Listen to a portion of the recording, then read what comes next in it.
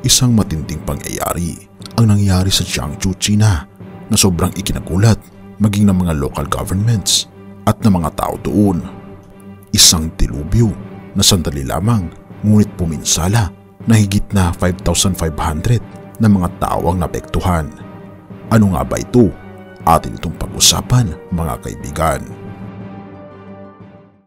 Isang tornado ang tumama sa silangang bahagi ng lungsod ng Sukian lalawigan ng Jiangsu, China.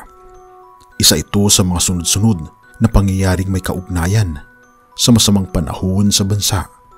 Kahit maikli lamang ang pag-iral ng tornado, ito ay nagdulot ng malawakang pinsala.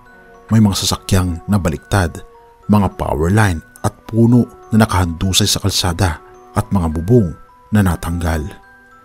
Ayon sa mga pahayagan ng estado, higit sa 5,500 katao ang naapektuhan ng tornado at 1,800 na tahanan ang nasira o nawasak. Mataas na hangin at malalakas na pag-ulan din ang nagdulot ng pinsala sa mga taniman na mga pananim. Ating pagtignan ang mga nakuhanan ng mga netizens patungkol sa tornado na tumama sa Jiangsu, China.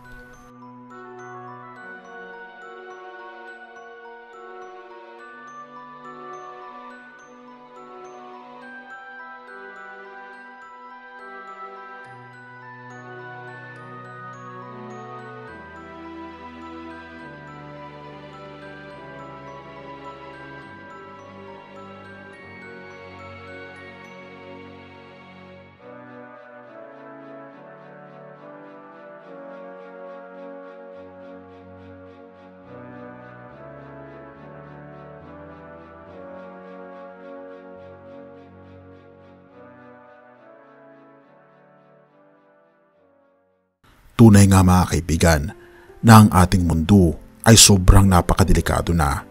Ngunit ito ang pangako ng ating Panginoong Diyos sa bawat isa sa atin.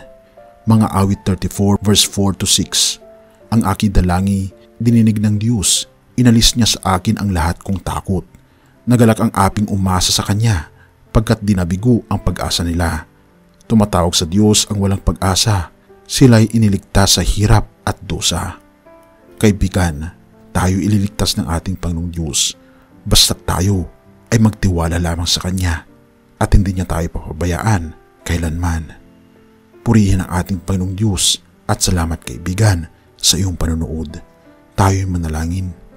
Ama naming banal makapangyarihan naming Diyos, ang mga epekto Panginoon ng mga pagdurusa na dulot ng mga nagbabadyang klima sa buong daigdig ay isa sa mga dahilan kung bakit natatakot ang karamihan.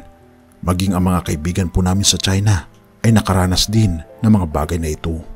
Patuloy silang alagaan Panginoon sa mga biktima roon at maging sa mga nabibiktima na mga natural na disaster na nangyayari sa aming kapanahunan. Na bago Panginoon kami mahimlay, tulungan kami Panginoon na kumapit sa inyo at tulungan kami Panginoon na huwag mawala sa mundong ito nang hindi kami kumakapit sa inyo. Gabayan Panginoon ang mga tao sa aming paligid. Tulungan kami Panginoon na ipahayag ang katotohanan ng kaligtasan na masusumpungan lamang po namin sa aming Panginoong Diyos. Purihin ka o aming Panginoong Diyos. Purihin ang aming Panginoong Kristo na siya pong nabayubay sa krus at ipinahayag niya ang iyo pong kadakilaan. At salamat Panginoon sa paghihintulot sa Kanya at sa pagbibigay ninyo ng inyong pong anak para sa aming mga makasalanan. Patawarin po kami sa lahat ng aming pagkukulang at pagkakasala pagkat ito ay aming samot hiling sa matamis na pangalan ng aming Panginoong Hesus. Amen.